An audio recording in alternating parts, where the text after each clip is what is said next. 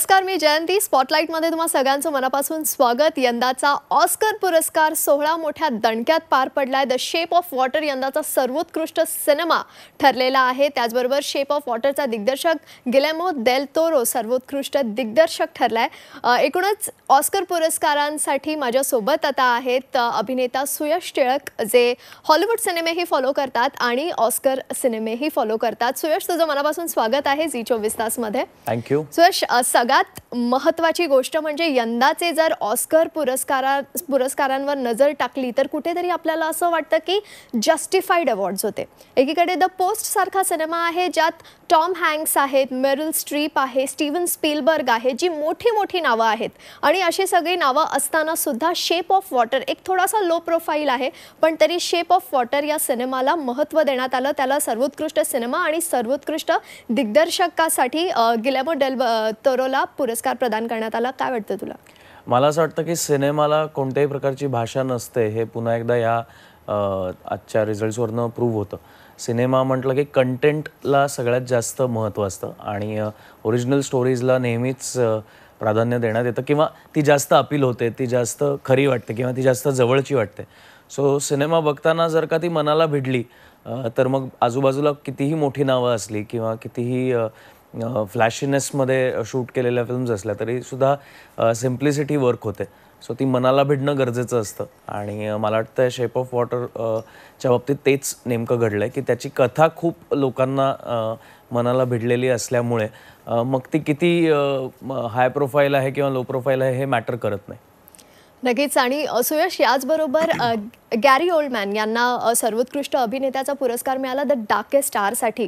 खरं तर हा सिनेमा अ, सत्य घटनेवर आधारित आहे आणि कुठेतरी विन्स्टन चर्चिल यांची जी व्यक्तिरेखा गॅरी ओल्डमॅन यांनी पार पाडली आहे ती खरंच म्हणजे कौतुकास्पद आहे. आपण तो सिनेमा पाहिलेला आहे. तर गॅरी ओल्डमॅन यांनी साकारलेल्या विन्स्टन चर्चिलबद्दल आणि त्यांना सर्वोत्कृष्ट अभिनेत्याचा पुरस्कारही मिळाला आणि त्यांच्या रेसमध्ये अनेक दिग्गजही होते पण तरी गॅरी ओल्डमॅन यांनी ही बाजी मारली आहे. काय वाटतं? मला गॅरी ओल्डमनबद्दल नेहमीच खूप भारी वाटतं.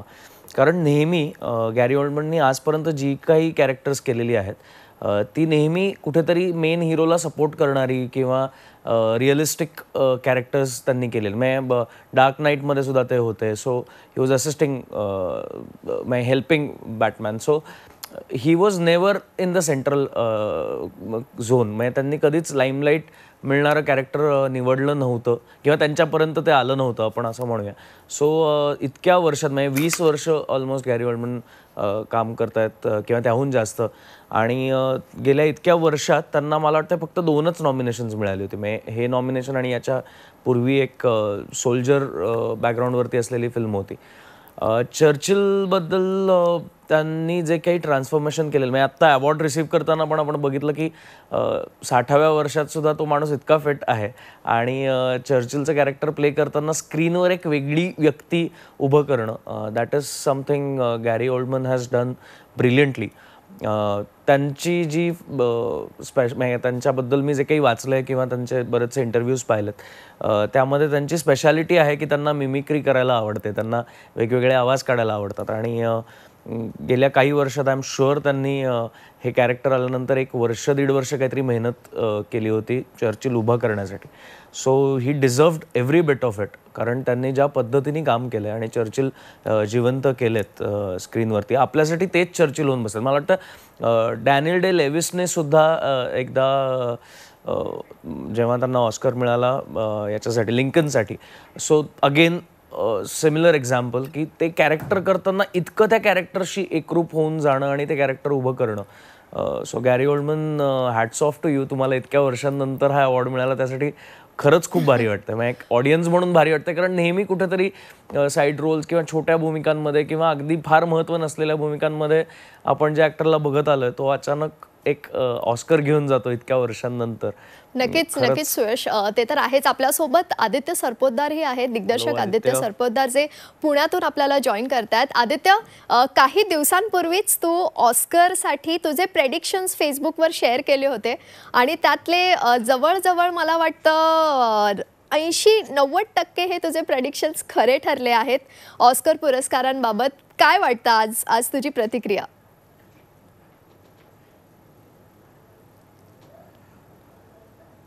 खरं मला वाटतं मी दरवर्षी गेले एक पाच ते सहा वर्ष ही प्रोसेस मी करत आलो आहे मी खरं हे मित्रामित्रांमध्ये करतो. अ, सुयशला पण हे माहिती आहे. आम्ही बऱ्याच वेळा डिस्कस करतो की यावर्षी कोण जिंकणार? आणि एक दोन तीन दिवस आधी आम्ही ती चर्चा सुरू होते. कारण नॉमिनेशन्स आल्यानंतर मग आपल्या आवडत्या सिनेमांपैकी आपला विनर कोण? असे आपण एक काही काही नॉमिनीसाठी आपण रूट रूट करत असतो. आणि मी एक दोन दिवसापूर्वी हे फेसबुकवर मुद्दाम टाकली कारण मला वाटलं की त्यावर चर्चा जरा अजून मोठ्या प्रमाणात व्हावी. सो मी काही आपल्या मित्रांना गणेश मतकरी किंवा काही इव्हन परीक्षकांना पण मी टॅग केलं. आणि त्या त्यांनी प्रत्येकाने आपापली एक लिस्ट टाकायला सुरुवात केली. तर मला वाटतं बऱ्यापैकी सगळ्यांचीच एक नव्वद टक्के ती लिस्ट बरोबर आली आहे. एखाद दोन अपसेट्स आमच्या सगळ्यांचीच एखादी एखादी कॅटेगरी आमची चुकली आहे. पण ओव्हरऑल एक मजा असते. मला वाटतं जानेवारी फेब्रुवारी या काळामध्ये ना आपल्याकडे भारतात हे सगळे ऑस्कर नॉमिनी फि सिनेमे लागतात जे थिएटरमध्ये आपल्याकडे एरवी लागत नाहीत. आणि ही संधी असते की ते सिनेमे एकत्र मिळून थिएटरमध्ये बघण्याची. तर हे आत्ता बघितल्यानंतर मला वाटतं तो जस्ट सिनेमा बघून बाहेर पडल्यानंतर त्याची एक्साइटमेंट जास्ती असते. आणि त्यामुळे मी ती एक लिस्ट करून टाकली. सो माझ्या सोळापैकी तेरा नॉमिनेशन्सला बक्षिसं मिळाली. तीन चुकली पण ती महत्त्वाची चुकली. पण मला माझे काही फेवरेट सिनेमे त्याला नाही मिळाले. मला थ्री बी थ्री बिलबोर्ड्सला बेस्ट फिल्म मिळावा अशी माझी अपेक्षा होती. मला ती प्रचंड आवडली होती फिल्म आणि शेप ऑफ वॉटरला ती बेस्ट फिल्म मिळालं. तर ती एक चुकली इवन ओरिजिनल स्क्रीन प्लेचं एक चुकलं. सो एक दोन ठिकाणी चुकली पण नेव्हर माइंड म्हणजे मला वाटतं ओव्हरऑल सोळा खूप उत्तम झाला आणि खूप चांगला सिनेमा जिंकला. नक्कीच. आदित्य आणखी एक प्रश्न तुला करते. तो म्हणजे एकीकडे जेव्हा शेप ऑफ वॉटर या सिनेमाला सर्वोत्कृष्ट सिनेमाचा पुरस्कार मिळाला त्यावेळेला जेव्हा गिलेमो गिलॅमो जेव्हा स्टेजवर गेले तो पुरस्कार रिसीव्ह करायला. आणि तो पुरस्कार रिसीव्ह करताना त्यांनी सगळ्यात आधी त्या होस्ट करणं त्या ज्युरीकडनं ते कार्ड मागितलं. आणि ते कार्ड त्यांनी पाहिलं आणि मग म्हटलं की अच्छा हां ठीक आहे. म्हणजे मला मिळाला आहे पुरस्कार. म्हणजे गेल्या वर्षी जो प्रकार घडला होता मूनलाईट आणि लाला लँडच्या मध्ये म्हणजे ज्या पद्धतीचं ते गोंधळ झालेलं गेल्या वेळेला ते यंदा होऊ नये. म्हणजे कुठेतरी या या इन्सिडेंटबाबत तुला काय म्हणायचं आहे?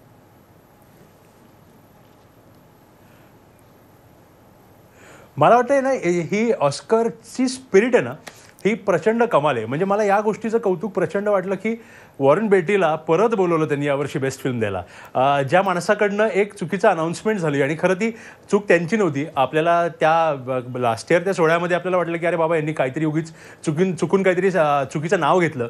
पण ती त्यांची चूक नव्हती. प्राईस वॉटर हाऊसकडनं आलेलं एन्व्हलपच चुकीचं होतं. आणि तिथे कुठेतरी मला वाटतं एक मिसॅप झाला होता. पण यावर्षी त्याच माणसाला परत बोलवून त्याच्याकडनंच बेस्ट फिल्म अनाऊन्समेंट परत करून घेणं ही खरंच खूप चांगली स्पिरिट आहे. आणि मला वाटतं it was all in good faith मला मला वाटतं गुलमर देल तरुणी पण ते येऊन एक मजेतच परत ते एन्व्हलप उघडलं आणि मजेतच ते परत लास्ट इयर घडलेल्या प्रकरणाला एक थोडी मजा करत ते केलं. So I think it is the spirit of the academy academy awards आणि त्यांच्यात एक खूप मला वाटतं एक खूप चांगली स्पर्धा होते. आणि छोट्या मोठ्या चुकांना ते सगळे सांभाळून घेतात. तर मला वाटतं इट इज मै मलाही हसवलं ते जेव्हा झालं तेव्हा. आणि इनफॅक्ट तेवढं नाही. या वर्षीच्या प्रत्येक छोट्या छोट्या गॅग्समध्ये पण ना त्या रेफरन्स त्या गोष्टीला रेफरन्स देत देत प्रत्येकाने थोडं त्याच्यावर एक हास्य पण केलं. So it was in good faith मला वाटतं. It was in the good spirit so मजा आली मला आज बघताना ते. नक्कीच आणि आपल्याबरोबर ऑस्करचे ज्युरी उज्ज्वल निरगुडकर सुद्धा आहेत. उज्ज्वल सर तुमचं स्वागत आहे झी चोवीस तासमध्ये. आम्हाला खूप उत्सुकता आहे की ऑस्करबाबतची जी प्रक्रिया असते ती कशी असते आणि तुम्ही स्वतः मतदान केलेलं आहे या संपूर्ण ऑस्करच्या प्रोसेसमध्ये. तर एक काही सांगाल याबद्दल?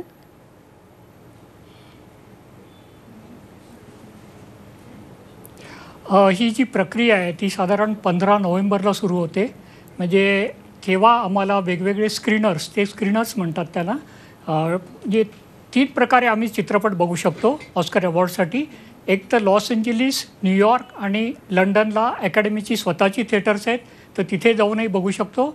नंतर इथे घरी मी आता मुंबईला आहे तर मुंबईला मला घरी डी व्ही डीज ते पाठवतात. आणि तिसरी प्रक्रिया म्हणजे ऑनलाईन स्ट्रीमिंग म्हणजे Oscars dot O R G ही त्यांची वेबसाईट आहे. आणि त्याच्यावर आम्हाला युजर आय डी आणि पासवर्ड दिलेला आहे. तर ऑनलाईन स्ट्रीमिंगद्वारे सुद्धा आम्ही हे बघू शकतो. तर अशा तीन प्रकारे ते बघू शकतो. अजूनही एक चौथं शक्यता असते की जर मी स्वतःच एखाद्या चित्रपटगृहात आधीच बघितला आहे तो चित्रपट तर तेही ते अलाव करतात. पण अशावेळी एक फॉर्म करून द्यावा लागतो की मी या चित्रपटगृहात हा शो बघितला आणि त्याच्यावर सही करून मी ते ईमेलवर पाठवावं लागतं. म्हणजे त्यांची एक मुख्य अट अशी आहे की चित्रपट बघितल्याशिवाय तुम्हाला मतदान करायला मिळत नाही. म्हणजे कोणीही असो जगातला ऑस्करचं ज्युरी त्यांनी चित्रपट बघितले तरच तो त्याच्यावर मतदान करायला मिळतं. आणि पर्टिक्युलरली असं असतं की ज्या ज्या कॅटेगरी असतात वेगवेगळ्या कॅटेगरीज आहेत तर त्या कॅटेगरीतले सगळे चित्रपट बघितल्याशिवाय त्यातल्या कुठल्याही चित्रपटासाठी तुम्ही मतदान करू शकत नाही. त्यामुळे हा एक प्रकारे एक चांगला न्याय आहे की सगळे चित्रपट बघूनच ऑस्करची ज्युरी मतदान करतात. त्यासाठी त्यांना भरपूर वेळ पण दिलेला असतो. पंधरा नोव्हेंबर ते जवळजवळ जानेवारीचा दुसरा आठवडा बारा जानेवारीपर्यंत तुम्ही बघू शकता नॉमिनेशनसाठी चित्रपट. आणि त्याच्यानंतर बारा जानेवारीनंतर जो आता ऑस्करचं जे मतदान शेवटचं झालं ते सत्तावीस फेब्रुवारीला झालं म्हणजे नॉमिनेशनच्या नंतर. तर त्याच्यानंतरचा एक महिना. त्यामुळे मला वाटते बऱ्यापैकी वेळ दिला जातो प्रत्येक ज्युरीला अर्थात असं आहे की आता ज्युरी वेगवेगळ्या कॅटेगरीतनं आलेले आहेत. मी टेक्निकल कॅटेगरीतनं आलेलं आहे. तर नॉमिनेशनच्या आधी त्यांना त्यांच्या कॅटेगरीतले चित्रपट म्हणजे मला best cinematography best editing याच्याबरोबरच best feature film best foreign language film आणि बेस्ट ॲनिमेटेड फीचर फिल्म बघायला मिळाली. त्याच्यासाठी नॉमिनेशन करता आलं. तसं जे बेस्ट ॲक्टर आहेत त्यांना बेस्ट ॲक्टर कॅटेगरीसाठी पण नॉमिनेशनच्या नंतर प्रत्येक ज्युरीला सगळ्या कॅटेगरीजसाठी मतदान करता येतं. त्यामुळे आता मी नॉमिनेशनच्या नंतर जे मतदान केलेलं आहे ते प्रत्येक कॅटेगरीसाठी केलेलं आहे.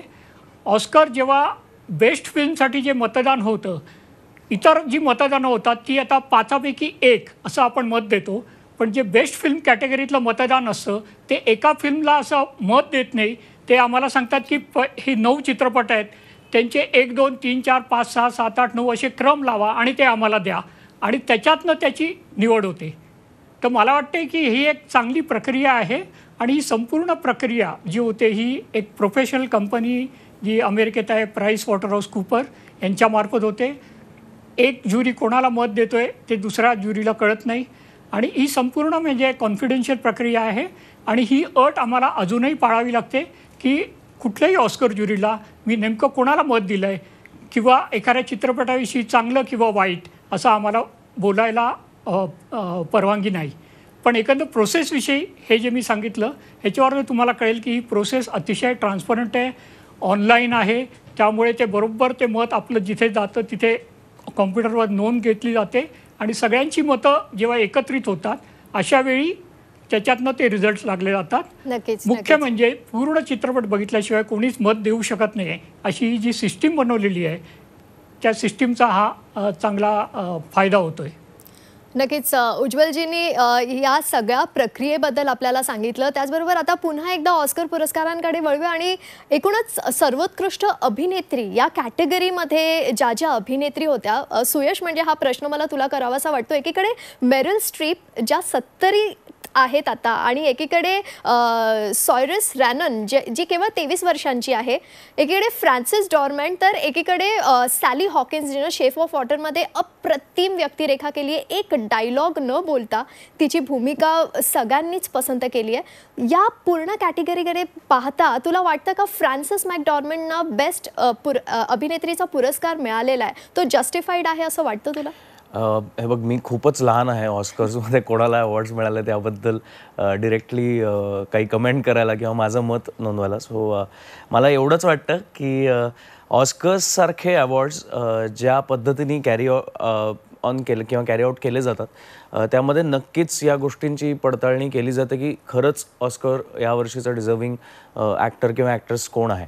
हां कॅटेगरीजबद्दल बोलायचं तर मी वयोगटाबद्दल नक्कीच मला बोलायला आवडेल. मला हीच स्पेशालिटी ऑस्करची खूप आवडते की तेवीस वर्षाची मुलगीसुद्धा आहे आणि एकीकडे सत्तर वर्षाच्या मेरिल स्ट्रेपसुद्धा आहेत.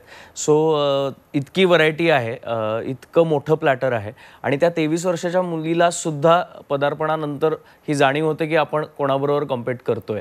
आणि काय आपल्याला अजून मोठं अचीव करायचं आहे किंवा काय शिकायचं आहे आणि कुठंतरी मेरिल स्ट्रिपसुद्धा त्या तेवीस वर्षाच्या मुलीकडनं शिकण्याचा ॲटिट्यूड ठेवतात किंवा आज त्यांनी जेव्हा सगळ्या फिमेल नॉमिनीज उभ्या राहिल्या आणि त्यांनी एक ओवेशन दिलं आणि सो ओव्हरऑल ती जे ते जे एक स्पिरिट आहे एकमेकांकडनं शिकण्याचं ते खूप जास्त स्पेशल आहे मला असं वाटतं. की अकॅडमी अवॉर्ड्समध्ये शिकण्यासारख्या खूप गोष्टी मिळतात. प्रत्येक अवॉर्ड फंक्शनला सर्वजण हजर असतात. आपल्याला नॉमिनेशन असो नसो आपल्याला अवॉर्ड मिळणार असो नसो सगळेजण एकमेकांना चेअर करण्यासाठी तिथे असतात. एकमेकांना बूस्टअप करण्यासाठी तिथे असतात. सो आय फील तेच फिलिंग खूप जास्त स्पेशल आहे ऑस्कर्सबद्दल आणि त्यातनं खूप शिकायला मिळतं आमच्यासारख्या कलाकारांना. नक्कीच हाच प्रश्न मला आदित्य तुलाही विचारावासा वाटतो की फ्रान्सिस मॅकडॉर्मंड ज्या थ्री बिलबोर्ड्स या सिनेमात त्यांनी अतिशय उत्तम व्यक्तिरेखा पार पाडली आणि या सिनेमासाठी त्यांना सर्वोत्कृष्ट अभिनेत्रीचा पुरस्कार मिळाला. पण त्याचबरोबर आदित्य मेरिल स्ट्रीप ज्यांना आत्तापर्यंत सर्वाधिक नॉमिनेशन्स आहेत आणि एक मोठा अनुभव आहे त्यांच्याकडे द पोस्टमध्ये त्यांची ही व्यक्तिरेखा अप्रतिम झाली आहे. काय वाटतं तुला या सर्वोत्कृष्ट अभिनेत्री या पुरस्काराविषयी काय वाटतं तुला?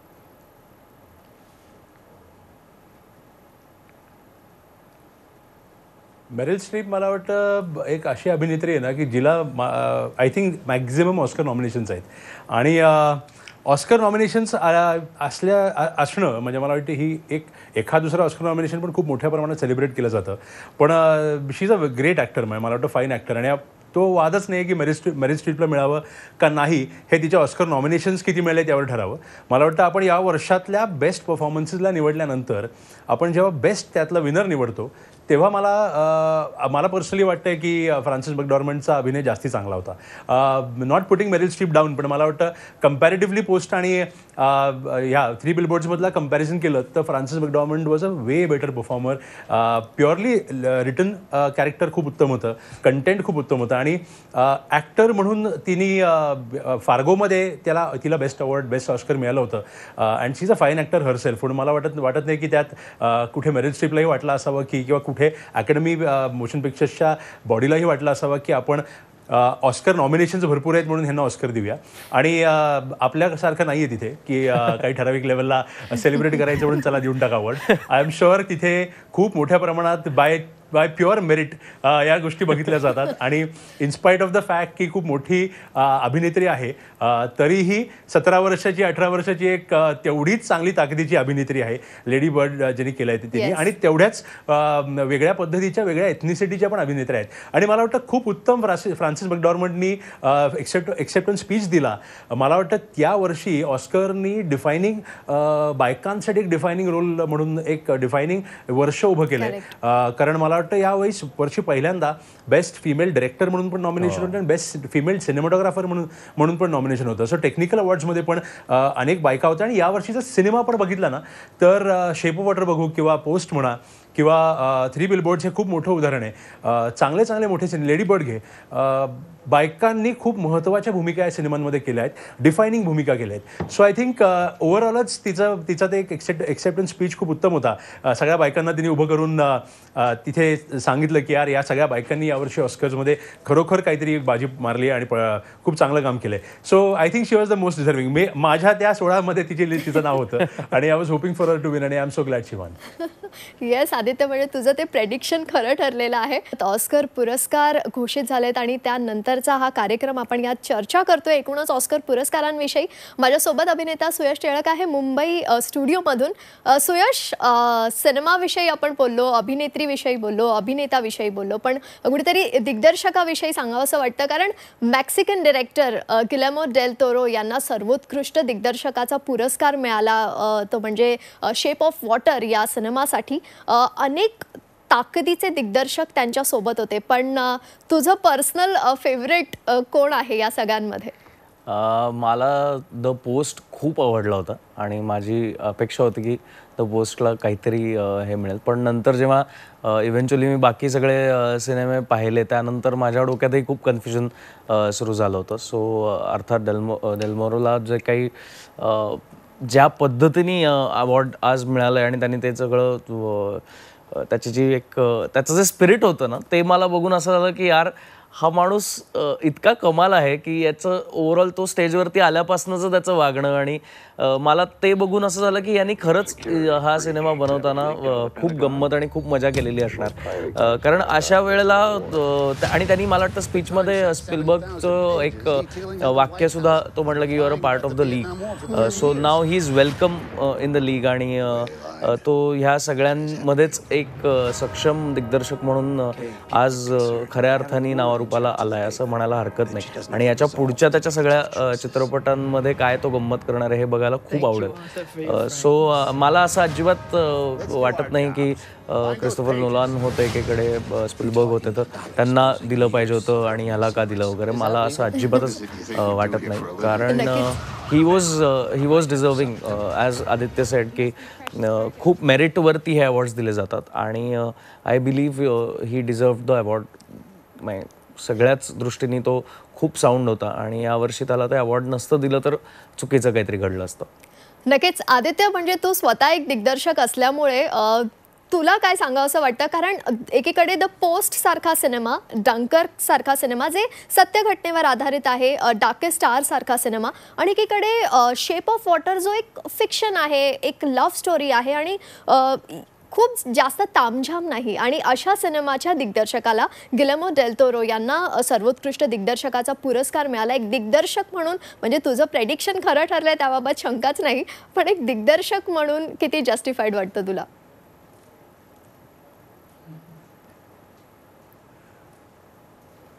माझा खरं ना या वर्षातला favourite director one of the favourite directors Nolan हा डंकर्कसाठी नॉमिनेटेड होता.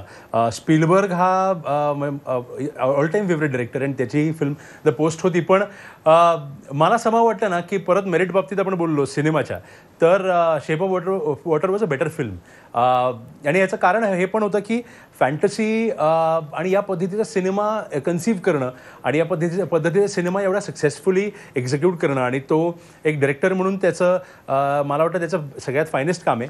मला तेवढंच त्याचं काम पॅन्स लॅबरेंथ पण आवडलं होतं. मला त्या सिनेमापासून मी गिलमर देल देल तोरोला रेग्युलरली फॉलो करतोय त्याची पॅसिफिक रिम असो कमर्शियल फिल्म किंवा त्याची खूप एक छोटीशी तिथे त्याच्या देशात बनवलेली फिल्म असो. मला एक वाटतं नेहमी म्हणजे with film directors film writers जेव्हा फिल्म चांगली लिहितात ना तेव्हा तुम्ही यावर्षी बघितलं तर शेप ऑफ वॉटरला अवॉर्ड आहे रायटिंगचं पण. आणि मला वाटतं रायटर्स डिरेक्टर्स आणि फिल्म हे खूप कनेक्टेड अवॉर्ड्स आहेत. आणि फिल्म म्हणून ती फिल्म बेस्ट असल्यामुळे ना एक डिरेक्टर म्हणून तुम्ही त्याला स्नब करू शकत नाही. त्याचं हे काम तेवढंच उत्तम असल्यामुळे ती बेस्ट फिल्म आहे. So I think that made the whole म्हणजे ते कॉम्बिनेशन खूप उत्तम जमलं. आणि एक एक अवघड फिल्म आहे. म्हणजे ती बघताना even if it's a love story त्याच्या स्पीचमध्ये तुम्ही जाणवलं असेल तर हे तो हे म्हणतो की अशा फिल्मला बॅक करणं आणि अशा फिल्मवर पैसा लावणं ही खूप मोठी गोष्ट होती कारण ती ऑन स्क्रिप्ट ऑन पेपर ती विजन काय मोठी आहे ती फक्त ऑन पेपर येऊ शकत नाही. ती त्या डिरेक्टरचं कौशल्य की त्यांनी ती विजन खरोखर एवढ्या मोठ्या प्रमाणात उभी केली. So I think. या म्हणजे it is he is the most deserving आणि even if I would have won wanted Nolan to win यावर्षी परत नोलनला स्नप करून ते अवॉर्ड दिलंय. मे बी नेक्स्ट इयर नोलनला मिळेल आणि आपण सगळेच म्हणजे मला वाटतं सुरेश पण जेवढाच मोठा नोलन फॅन आहे तर आपण सगळेच परत नेक्स्ट इयर एक प्रयत्न करू बघूया. की होपफुली की नोलनचा अजून एक सिनेमा नेक्स्ट इयर असेल. नक्कीच आदित्य. आणि आता शेवटचा प्रश्न उज्ज्वलजी तुम्हाला की या संपूर्ण प्रोसेसचा तर तुम्ही भाग होताच. म्हणजे ही संपूर्ण प्रक्रिया कशी असते त्यात तुम्हीही मतदान केले आणि ही ट्रान्सपरन्सी असते या सगळ्या गोष्टी. ऑस्कर अकॅडमीविषयी बोलायचं झालं. तर आता यानंतरचं सेलिब्रेशन कसं असणार आहे आणि या सेलिब्रेशनचा भाग असणार आहात का तुम्ही?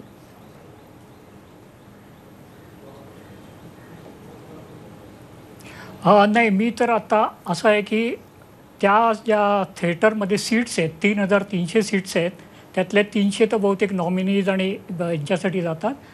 तीन हजार सीट ते प्रत्येक अकॅडमी मेंबरला दोन सीट असे दीड हजार मेंबरना देतात.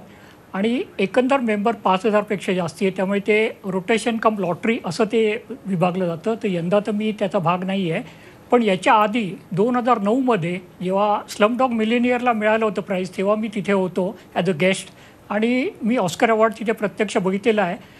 एक यातलं जे बऱ्याच लोकांना माहीत नसतं ते असं आहे की ऑस्कर अवॉर्ड जेव्हा त्या भावल्या दिल्या जातात त्यांच्यावर कुठलंच नाव नसतं कारण त्याची कॉन्फिडेन्शियलिटी असते त्यामुळे आधी नाव ते करू शकत नाहीत.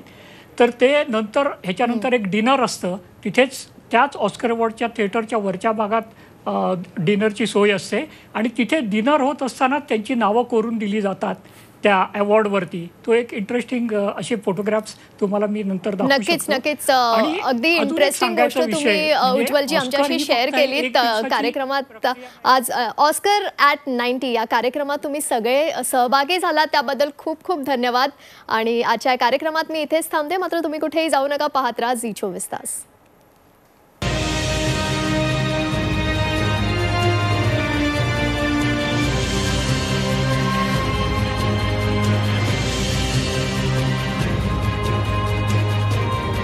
झी चोवीस तास. रहा एक पाऊल पुढे.